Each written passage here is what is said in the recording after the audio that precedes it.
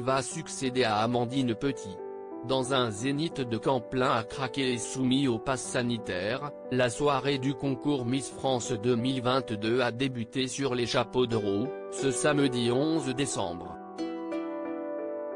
Placée sous le signe des comédies musicales, la compétition s'est ouverte sur un tableau consacré au Roi Lion, pour lequel les jeunes femmes étaient accompagnées d'un chœur gospel. Elles ont ensuite défilé au rythme des plus grands spectacles musicaux tels que Saturday Night Fever, Mary Poppins, West Side Story, Chantons sous la pluie ou encore La La Land.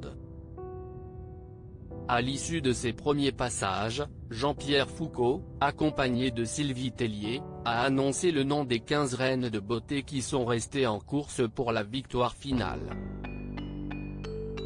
Le destin de ces Miss avait déjà été scellé avant le début de la compétition puisqu'elle avait été présélectionnée par un jury composé de partenaires de la société Miss France après un entretien qui s'est déroulé ce mercredi 8 décembre.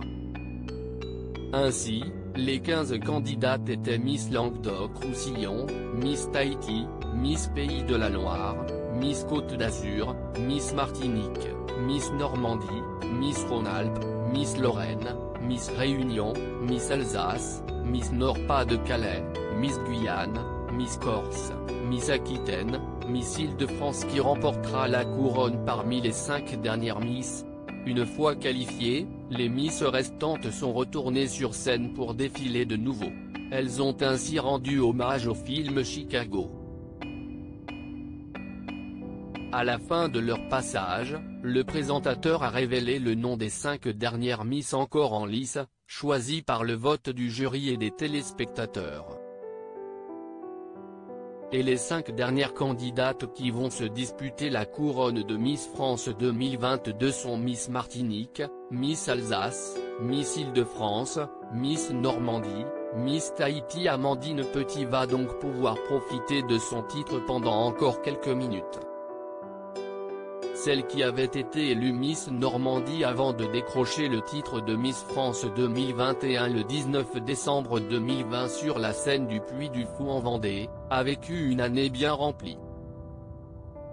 Après sa victoire, elle a enchaîné les apparitions médiatiques, est devenue l'égérie de la marque de luxe Festina, mais également l'homme des visages des 109 Marianne dévoilé par Marlène Schiappa lors de l'inauguration d'une exposition au Panthéon.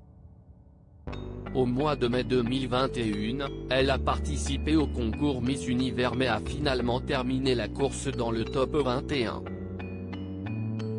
Sur les ondes d'Europe une ce 10 décembre, elle a déclaré qu'elle avait vécu une année forte en émotions, mais cesse de dire ravie de céder, est sa place. Loading DJ